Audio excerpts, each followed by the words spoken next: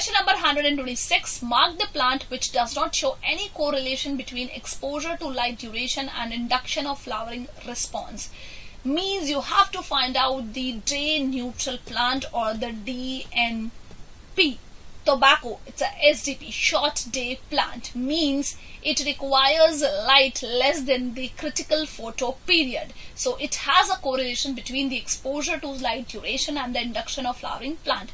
Sugar beet and henbane, yes, they also required photo period, so they have also correlation between exposure to light duration and induction of flowering response. Pepper is a day neutral plant. It does not have any correlation between light and the flowering response. So the correct option for the given question is option number 2. Let's move to the next question. Question number 127. Which of the following pairs is not correctly matched? IAA indole acetic acid it induces rooting. Yes it's auxin and auxin helps in induction of rooting. B second option aba stomatal closure. Yes aba helps in stomatal closure. Three third option ethylene stress hormone. No aba is the stress hormone not the ethylene.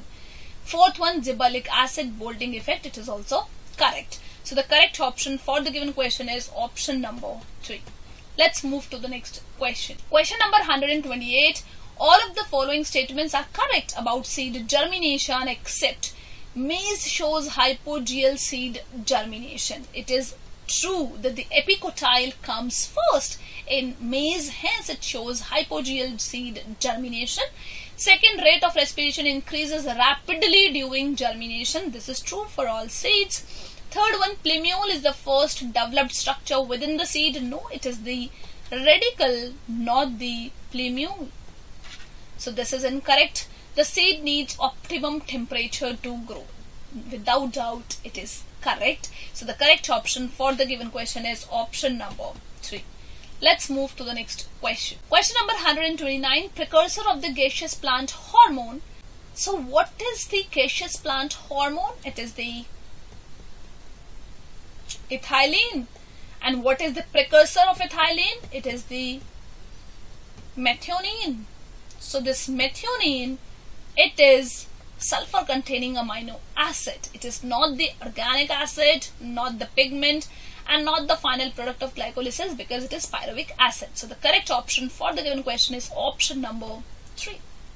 Let's move to the next question. Question number 130 a phytohormone which was first isolated from unripe maize grains. It was cytokinin. First option inhibits the growth of lateral buds. No, it promotes the growth of lateral buds. That's why it counteracts apical dominance. It delays senescence. True. It prevents cell division. No, it promotes. That's why it is cytokinin. Fourth one cannot be used during tissue culture. No, it is used during the tissue culture along with the auxin. So the correct option for the given question is option number 2. Let's move to the next question.